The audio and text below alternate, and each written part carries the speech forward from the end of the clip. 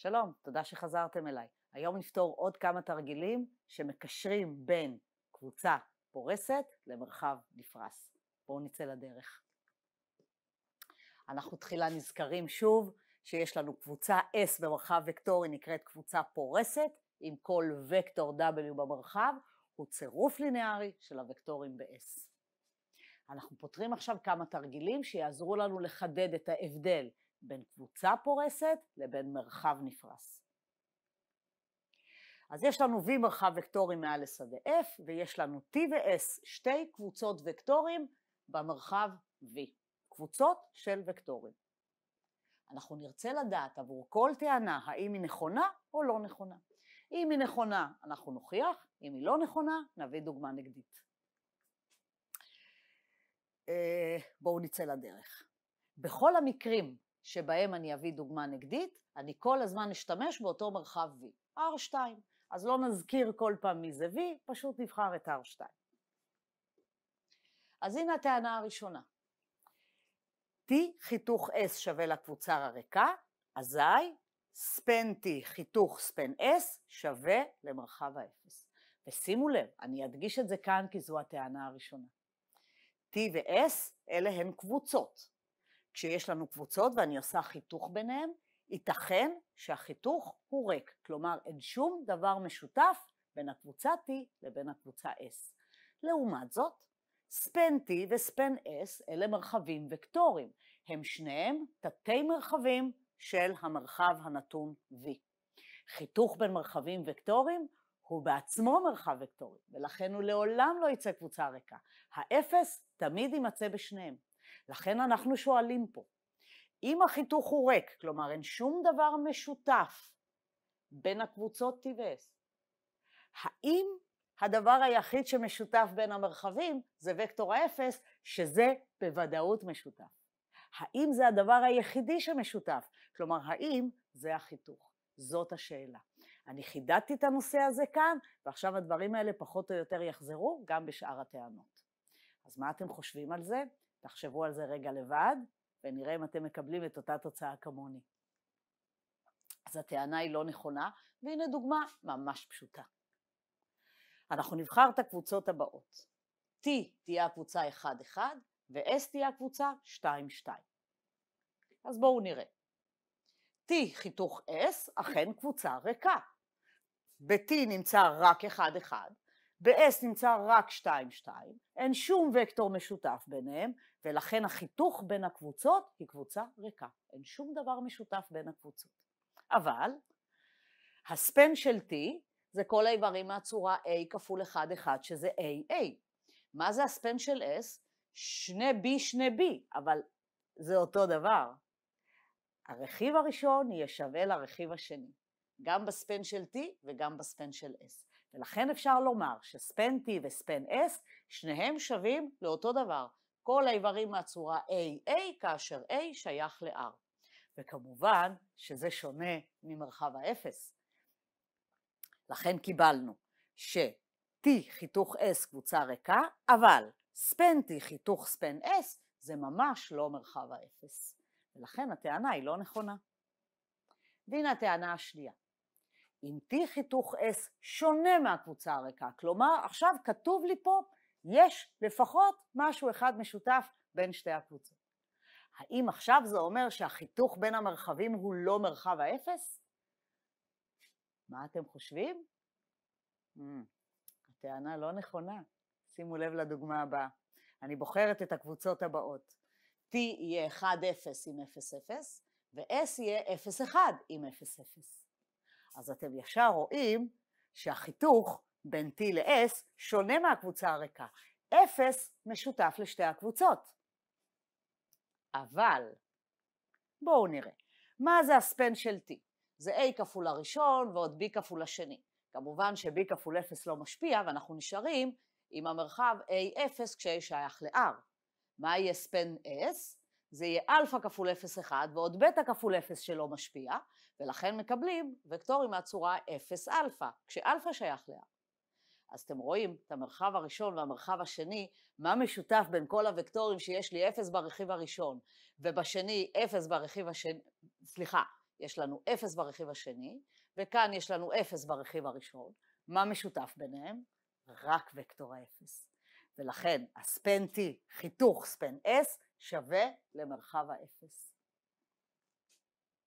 אז מה קיבלנו? החיתוך הוא לא קבוצה ריקה, אבל חיתוך המרחבים הוא רק מרחב האפס. אבל שימו לב, את זה הצלחנו לעשות בגלל ששמנו את וקטור האפס בשתי הקבוצות. זו למעשה הדוגמה היחידה שסותרת את הטענה הזו, אבל זכרו, מצאנו דוגמה נגדית אחת, הטענה לא נכונה. בואו נשנה אותה טיפה. שימו לב לטענה מספר 3, ג' אם 0 לא שייך ל-T ו-S, כלומר עכשיו יש לי שתי קבוצות שבהן וקטור האפס לא נמצא. עכשיו אני יודעת שהחיתוך שונה מהקבוצה הריקה. כלומר, יש משהו משותף, אבל זה לא יהיה האפס, כי האפס לא שם. האם עכשיו ספן T חיתוך ספן S, כלומר, האם עכשיו המרחבים, החיתוך ביניהם שונה ממרחב האפס? הפעם התשובה יוצאת שהטענה נכונה. בואו נוכיח את זה. אני יודעת ש-T חיתוך S שונה מהקבוצה הריקה. זה אומר שיש לי וקטור שנמצא בחיתוך, והווקטור הזה אני יודעת שהוא לא אפס, כי אפס בכלל לא נמצא בין הקבוצות, מה שקודם בסעיף ב' לא יכולתי להגיד. כלומר, מה זה אומר? V שייך ל-T, ולכן V שייך לספנטי. אם הוא בקבוצה, הוא לבטח במרחב הנפרס על ידי הקבוצה. רגע, אבל אם V בחיתוך, אז V גם שייך ל-S, ולכן V שייך גם לספנס. אז עכשיו אני יודעת ש-V נמצא בשניהם, לכן V נמצא בספן T חיתוך ספן S. אבל V הוא לא אפס, ולכן יש בחיתוך איזשהו וקטור שונה מאפס, ולכן החיתוך לא יכול להיות וקטור האפס, הוא לא יכול להיות מרחב האפס.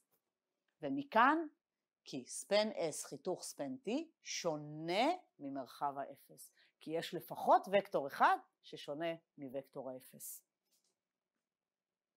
והנה ד' אני יודעת ש-T חיתוך S שווה לקבוצה הריקה, אין שום וקטור משותף ביניהם.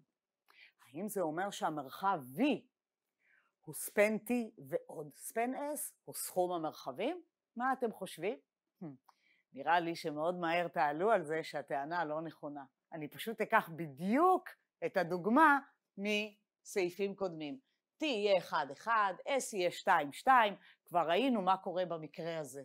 ספן T וספן S שניהם שווים ל-AA, כש-A שייך ל-R, AA זה בוודאות לא כל V, V במקרה שלנו הוא R2, ולכן ספן T ועוד ספן S זה בעצם ספן T. אם ספן S וספן T שווים, אז הסכום ביניהם, מרחב הסכום, הוא פשוט אחד מהם, אז כתבתי ספן T. וספן T כמובן זה לא כל R2, זה רק איברים מהצורה AA ולא איברים מהצורה AB.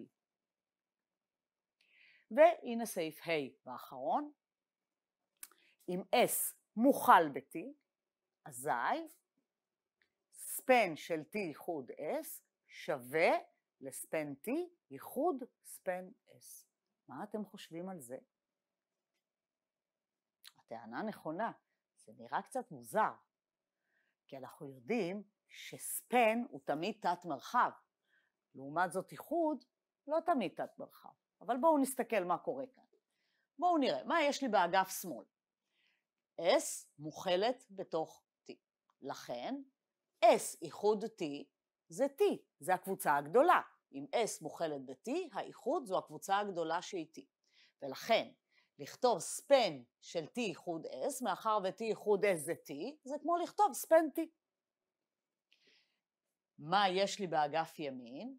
אם S מוכל ב-T, אז אני יודעת שספן S מוכל בספן T, ולכן ספן T איחוד ספן S יהיה שוב הספן הגדול, ספן T.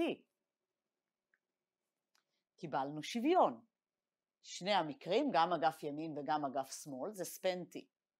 נכון, קיבלנו שאיחוד תתי מרחבים הוא תת מרחב. זה תת מרחב, איחוד תתי מרחבים לא בהכרח תת מרחב, והפעם יצא שאיחוד תתי מרחבים הוא תת מרחב. למה זה קרה? זוכרים את המשפט? איחוד תתי מרחבים הוא תת מרחב, אם ורק אם האחד מוכל בשני. ופה זה בדיוק מה שקיבלנו. קיבלנו שספן S מוכל בספן T, האחד מוכל בשני, וזה קורה אם ורק אם האיחוד הוא תת מרחב. ולכן במקרה הזה הטענה עבדה. זהו חברים, סיימנו להפעם וניפגש בשיעור הבא.